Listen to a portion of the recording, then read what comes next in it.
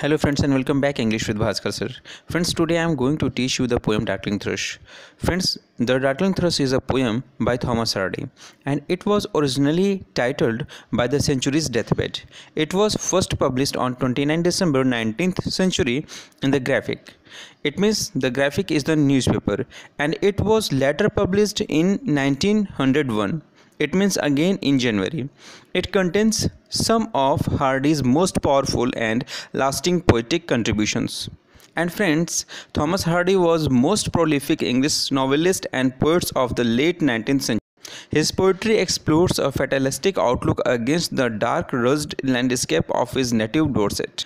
He rejects the Victorian belief of a benevolent God, and much of his poetry reads as a sardonic lament on the bleakness of the human condition. And this poem is also like this. Friends, I want to tell you one more thing. The Western countries usually faces extreme winter during December month. It means last of the year. And in the same way, at that time, this poem was also published on 29th December. And that was not only the time of passing passing the year but the 19th century also. So the poet expresses the 19th century as a corpse. And friends this time i will start to talk about this poem. The darkening thrush is a nature natural poem.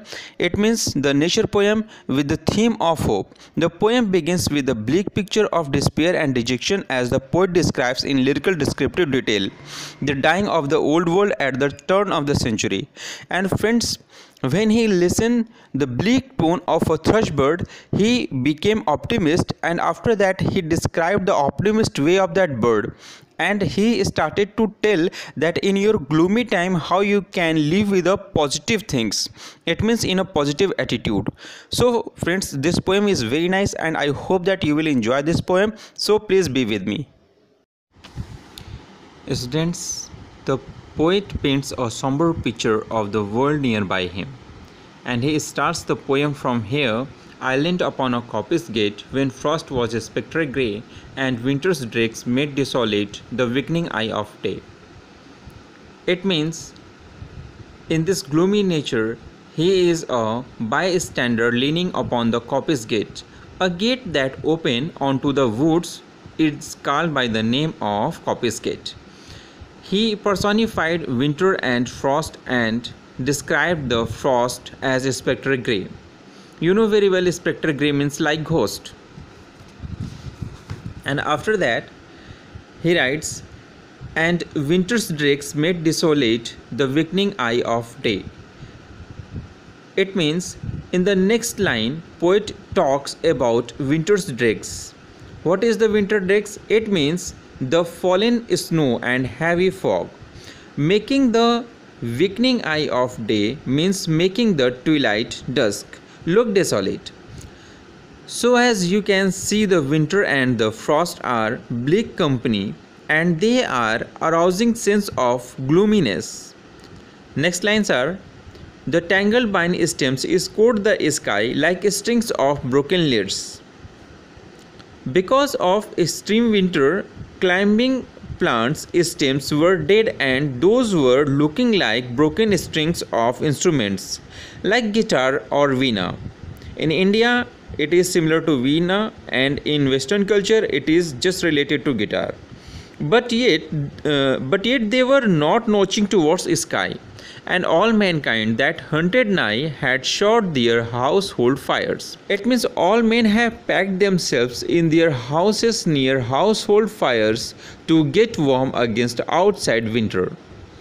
The land's sharp features seemed to be the century's corpse outlined his crypt the cloudy canopy, the wind his death lament. Students, winter in the northern hemisphere is also the end of the year. Here it becomes even more meaningful as the end of the year in this case also marks the end of the century. And so the land sharp features means lands covered with snow look like the 19th century's corpse because this is the December month and after this month uh, next century will start and old will die soon. Students now I hope that this line is clear to you. After it the poet describes crypt-like grove and cloud-like cover canopy, the wind sound seems him to the song of death. Students, now pay your attention. The ancient pulse of germ and birth was shrunken hard and dry. According to the poet, because of the extreme winter, the ancient animals or other creatures are packed in their holes or houses, and most of them could not save themselves in this pathetic situation. And who are alive, they became lean. So it has been said that the ancient pulses of germ and birth was shrunken hard and dry. Okay, students. Now, next lines and every spirit upon earth seemed fervorless as I. It means after such type of extreme bad situation or the pathetic situation, the poet become hopeless and every ex- uh, every creatures starts to appear as his thought. It means fervorless. Fervorless means hopeless. Okay, students. Now come to the next line. At once a voice arose among the bleak twigs overhead in a full-hearted even song of joy illimited. So friends, from here the poet's mindset starts to change in optimist way. When he listened a voice which was coming over his head from the sad branch of a tree. It seems to him like evening song of prayer so here it has been written even song. And which is full of unlimited joy. So here it has been written illimited joy. And sung with full hearted. An aged thrush frail gaunt and small in blast beruffled plum students now what happened? Who sang this song and who was the singer now i'm going to describe and from here what is the thought of the poet you can understand very easily that who was the singer. The first topic is this and i want to tell you here it has been revealed that it was a thrush bird which was small delicate and lean and have blast ruffled plum. Means she has survived the extreme winter and because of this her feathers are scattered Next lines are had chosen to fling his soul upon the growing gloom. Students, here the bird puts his soul into his voice as the belts out a happy tune to no one but the external listener. I said external listener because in previous line and it has been described already as even song. Friends, even song means evening song and this word denotes the eternal listener. Next lines are so little cause for carolings of such ecstatic sound. Was written on terrestrial things afar or nigh around. So little cause means that it confuses the poet as there is no good reason for the bird to singing. And also the sibilance means repetition of s and c sounds creates a soft music just like what the bird is singing just like the previous stanza, there is enjambment in the first four lines. The use of the word terrestrial suggests that the poet believes this bird is full with optimist mindset and in such difficult situation she is flying his soul means she is singing by her against the condition. It shows that whatever the pathetic situation is nearby you but you should never be hopeless. Next lines are that I could think there tumbled through this happy good night air.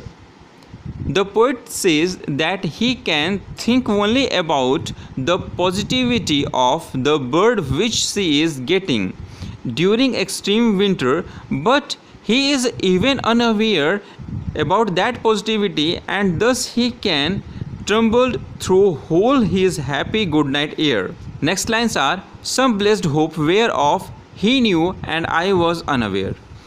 Hence the poet Hardy brings up the idea of Christian hope and says that there is power of almighty hope in the bird about which she is aware but till now I am not aware.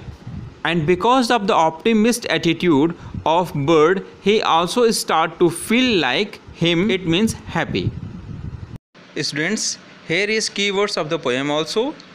First, coppice gate thicket of small trees. next eye of day. It means sun. Vine stems twinkling or climbing stems of plant. Next lyres musical instrument with strings. Friends i will show you the picture of the lyres also. Next outland outland means lying down. Germs seed egg birds and other small creatures. Illimited means unlimited. Friends this is a picture of a lyre which was very popular in 19th century. Friends this is the image of frosty nature. It means extreme winter nature with coppice gate. Friends i hope you have enjoyed the lesson. If there is any problem then you can comment me and i will answer that. Thank you